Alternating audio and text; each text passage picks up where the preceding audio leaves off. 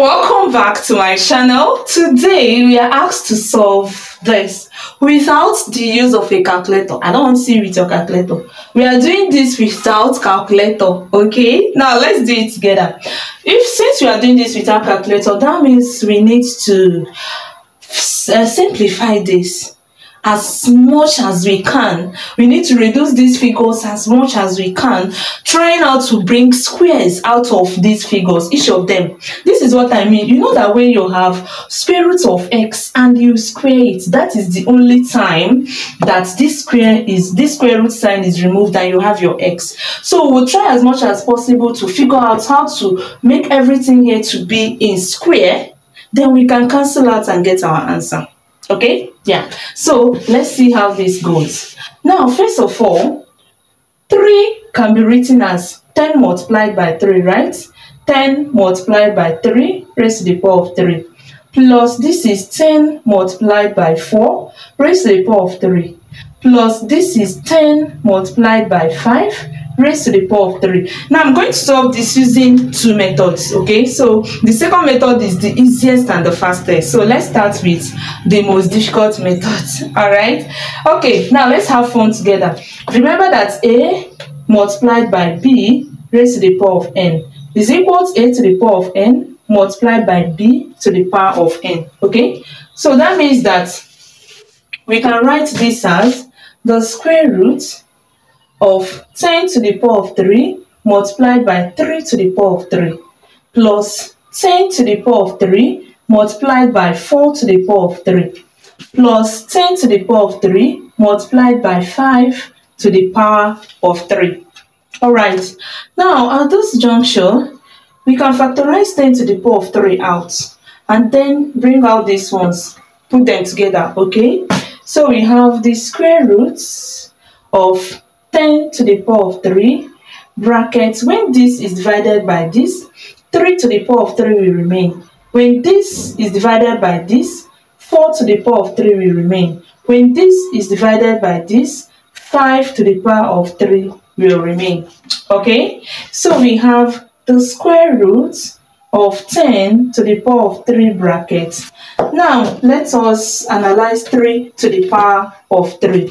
Remember that 3 to the power of 3 is equal to 3 multiplied by 3 multiplied by 3, which will give us 27. Okay? Similarly, 4 to the power of 3 is 4 multiplied by 4 multiplied by 4, which will give us 64. And 5 to the power of 3 is 5 multiplied by 5 multiplied by 5, which will give us 125 okay? Please click the subscription button and turn on notification bell if this is the first time you are seeing this channel okay? Give us a thumbs up if you're actually enjoying this video. And don't forget to turn on your notification bell so that you don't miss our amazing videos. Tune in at your convenience. There must be something new to watch. Trust me, by the grace of God. Yeah. All right, now let us continue. So, we are going to replace 3 to the power of 3 with 27. Substitute 4 to the power of 3 as 64 and 5 to the power of 3 as 125. So, what we have is 27 plus 64 plus 125 okay? All right. Now let's continue. Now this is square root of 10 to the power of 3 multiplied by now let's add together. 125 64 and 27 now 4 plus 7 is 11 11 plus 5 is 16 carry 1 6 plus 2 6 plus 4 is 10 plus 1 11 carry 1 so we have 2 1 6 okay? So we have 216. Alright, now let's simplify 216. Remember that we don't have a calculator. So what we are doing here is let's simplify further. Alright, so we have 216. If we simplify 216, 2 we divide to give us 108. 2 we divide again to give us 54. 2 we divide to give us 27. 3 we divide to give us 9. 3 we divide to give us 3, 3 we divide to give us 1. So you notice that we have 2 times 2 times 2, 1, 2, 3, and we have 3 times 3 times 3, okay? Which is 2 to the power of 3 multiplied by 3 to the power of 3. Yes. So let's go ahead and um, write that here. So this is square root of 10 to the power of 3 brackets. 2 to the power of 3 multiplied by 3 to the power of 3. Okay, now remember that a to the power of m multiplied by b to the power of m is equal to a multiplied by b raised to the power of m.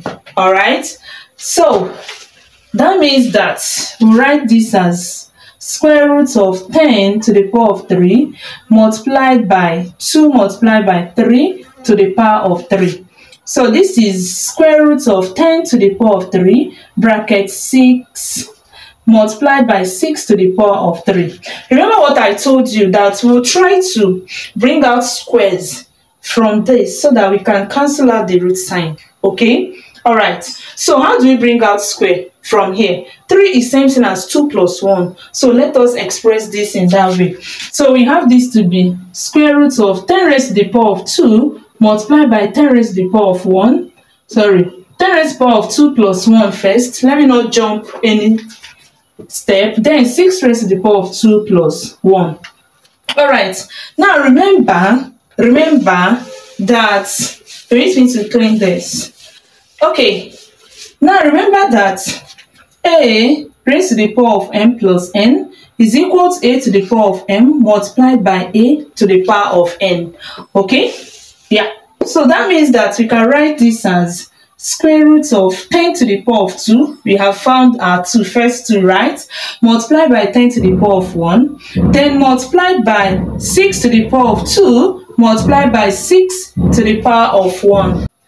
Now we are going to bring out the squares. Let's bring them together. So we have square root of 10 squared multiplied by 6 squared.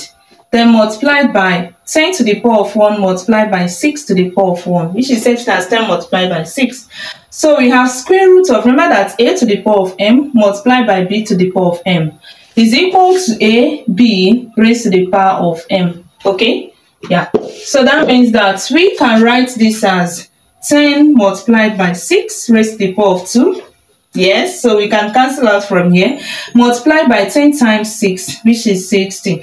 Okay, so we have the square root of 60 squared multiplied by 60. All right, now remember, remember that square root of a multiplied by b is equal to square root of a multiplied by square root of b. Okay? So that means that we can separate this as square root of 60 squared multiplied by square root of 60 okay? Now remember what i said this can cancel this. So we now have 60 root 60 but root 60 is not in its simplest form right?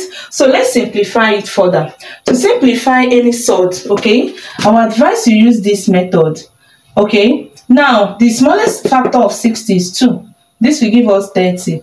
The smallest factor of 30 is still 2. When 30 is divided by 2, we have 15. Then 3 we divide to give us 5. 5 we divide to give us 1. Now, because this is square root, we pick identical numbers in pairs, okay? So this is the only pair we have here. 2 times 2 is 4. So that means that we can express root 60 as 4 times 15, okay? So we have 60 root 4 multiplied by 15. So we have 60 root 4 multiplied by root 15. So we have 60 multiplied by 2 because root 4 is 2, then we have root 15.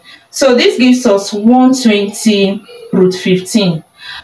Okay, now this is the first method. Let's go to the second method that is very easy and very fast. Okay, now using the second method, we first of all, we first of all evaluate the numbers. Okay, so let's first of all evaluate the numbers. Okay. Now, 30 to the power of 3. 30 to the power of 3. Same thing as 10 uh, multiplied by 3 raised to the power of 3, right? So this same thing as 10 to the power of 3 multiplied by 3 to the power of 3. Okay. Which will give us 1000 multiplied by 27 which will give us 27,000 okay? That is it for 30 to the power of 3 now 40 to the power of 3 is 10 multiplied by 4 raised to the power of 3 so this is equal to 10 to the power of 3 multiplied by 4 to the power of 3. So this is 1000 multiplied by 64 and this will give us 64,000 okay?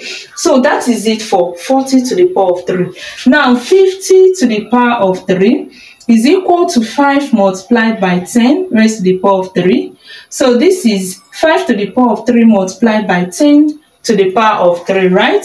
So this will give us 125 multiplied by 1000 which will give us 125000 okay? So we are going to substitute these values into this place. So we have the square roots of 30 to the power of 3 is 27,000 okay? Plus 40 to the power of 3 is 64,000 plus um 50 to the power of 3 is 125,000 so let's write them. Okay? So we have 125,000. All right, now let's solve. This is square root of 27,000 plus 64,000 plus 125,000. Let's solve. 125,000 plus 64,000 plus 27,000. Okay, we have three zeros. Now 7 plus 4, 11. 11 plus 5 is 12, right? 11 plus 5 is 16. Write 6 carry 1. 6 plus 4, 10 plus 1, 11. Carry 1. So we have 216000. 216,000. Okay. We are close to the solution. Now let us simplify this further. This can be written as 216 multiplied by 1000, right? So this can be written as 216 multiplied by 10 to the power of 3. All right. Now, 216, like we expressed the other time, is same thing as 2 to the power of 3 multiplied by 3 to the power of 3, okay? So we have the square root of 2 to the power of 3 multiplied by 3 to the power of 3 multiplied by 10 to the power of 3. So we have the square root of 2 multiplied by 3 raised to the power of 3 multiplied by 10 to the power of 3. Okay, so we have the square root of 6 to the power of 3 multiplied by 10 to the power of 3. Now remember what we did the other time, but this time we are going to multiply this and this together, bringing out the 3.